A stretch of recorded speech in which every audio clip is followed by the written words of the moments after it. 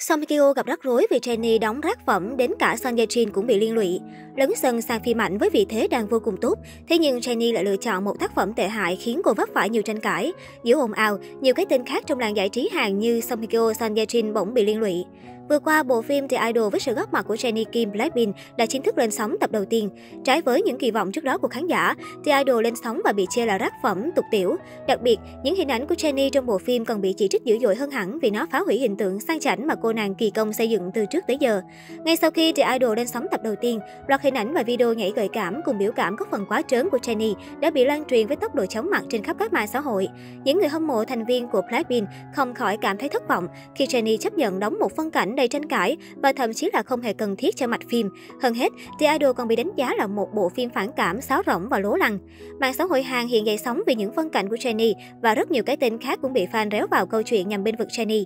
Fan nữ ca sĩ mang hình ảnh các diễn viên đình đám xứ Hàn cũng từng đóng những phân cảnh nhạy cảm nhưng không hề bị chỉ trích như Jennie và cho rằng công chúng đang tiêu chuẩn kép với nữ thần tượng.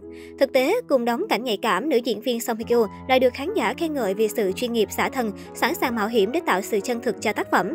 Mặc dù nổi tiếng với hàng loạt những tác phẩm để đời như Trái tim mùa thu, Ngôi nhà hạnh phúc, Hậu duệ mặt trời, ít ai biết rằng nàng song từng táo bạo đồng ý đóng cảnh nhạy cảm để tạo cú bứt phá trong sự nghiệp diễn xuất của mình.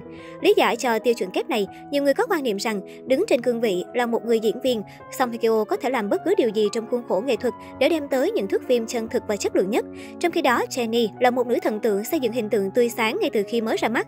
Chính vì vậy, việc hy sinh đụng chạm cơ thể của thành viên Blackpink lại gây phản ứng ngược, là sự mạo hiểm khó lường ảnh hưởng xấu đến hình tượng của cô nàng trong suốt phần còn lại của sự nghiệp.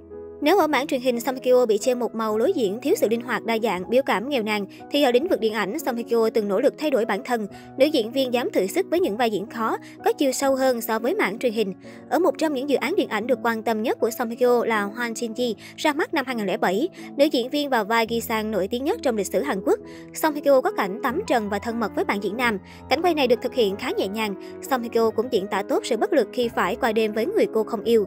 Với Make Yourself at Home, phim đầu đầu tiên hợp tác với ekip làm phim Hollywood, Samiko gây sốc với nhiều cảnh ân ái. Cô hoàn toàn lột xác, không còn hình tượng dịu dàng nhẹ nhàng, Samiko hóa thân thành phù thủy Suki với thần thái ánh mắt lạnh lùng ma quái. Trong phim này, nữ diễn viên quay cảnh tình tứ táo bạo với nhân vật Peter Kim, John Weiss và cảnh ôm ấp đồng tính trong trang phục áo tắm với Julie Weiss. Một cái tên khác cũng bị réo vào ồn ào là Sanja Jin, là ngôi sao hàng đầu với hình tượng trong sáng. Sanja Jin cũng từng phá vỡ hình ảnh khi tham gia cảnh nhạy cảm. Nhiều năm trước, Sanja Jin từng chấp nhận tham gia một số tác phẩm có nhiều cảnh táo bạo để tạo cú bứt phá trong sự nghiệp. Tác phẩm Tuyết tháng 4 năm 2005 là tác phẩm tạo cú sốc của Son Ye Jin. Trong phim, Son Ye Jin có cảnh táo bạo với diễn viên Bae Yum Chun. Bước đi này của nữ diễn viên gây nhiều tranh cãi nhưng vẫn tạo được dấu ấn khi mang đến một Son Ye Jin khác hẳn những bộ phim trước đó. Sau Tuyết tháng 4, Son Ye Jin tiếp tục có những cảnh táo bạo khác trong tác phẩm điện ảnh Đêm trắng năm 2009. Có thể thấy cùng mang hình tượng trong sáng ngọc nữ, thế nên khi quyết định đóng những phân cảnh táo bạo, các diễn viên đều vướng nhiều tranh cãi khác nhau. Tuy nhiên, xét về Song Kyo và Son Ye Jin, những phân cảnh của các diễn viên được cho là cần thiết cho mạch phim và mang tính nghệ thuật, thì Jenny lại trái ngược hoàn toàn khi phân cảnh quá dư thừa. Thậm chí nhiều khán giả hiện còn nhận định vai diễn này chính là sự sụp đổ của cây Chanel sống Jenny.